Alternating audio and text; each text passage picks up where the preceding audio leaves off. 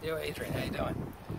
Uh, hey, we're at a really awesome place, a special place, a place to remember, a place to uh, pay respects. We're at uh, Forest Lawn Memorial Park outside of LA uh, in Glendale, California. And uh, we have some very dear friends uh, up in Cortland, New York. That would be David Feinstein, his wife, uh, Denise, uh, Eleanor Phelan and Kim Dagita. I think that's what it is. I don't know. I'd have to check my Facebook. I'm so bad at this. But anyway, uh, we're here for us. We're here for them.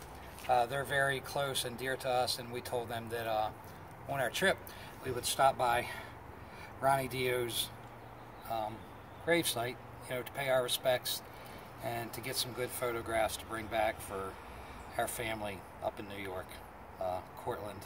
Uh, they're wonderful people. Uh, we would do anything for them. They are truly family. And, uh, well, we'll show you Ronnie's place, okay? Ronnie's doing okay. Uh, he's got a very nice place here.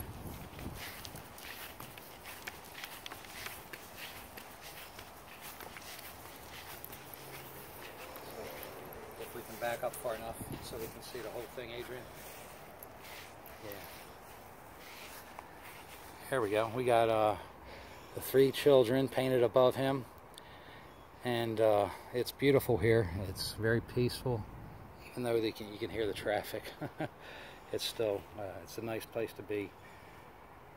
I know Ronnie's not feeling pain right now, and I know he's rocking up there uh, with all the other rock stars.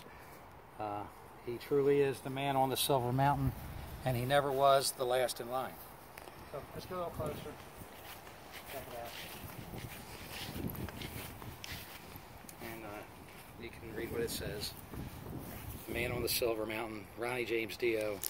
July 10th, 42 to May 16th, 2010, when he left us and uh, gone to a better place. But you know what? We still miss him, even though he is in a better place because he was an awesome guy. He was a great singer.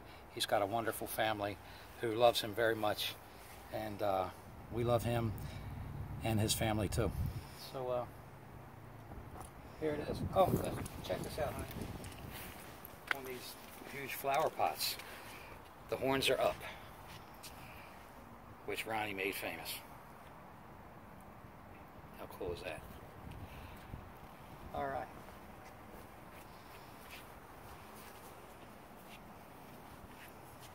Okay, so from uh, Forest Lawn, Memorial Park, near LA, Glendale, California.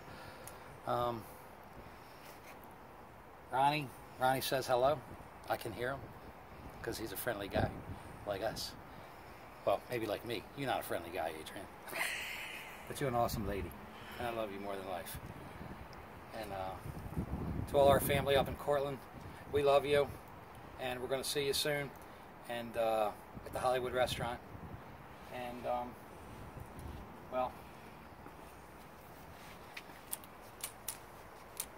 It just went off. Okay. Temperature.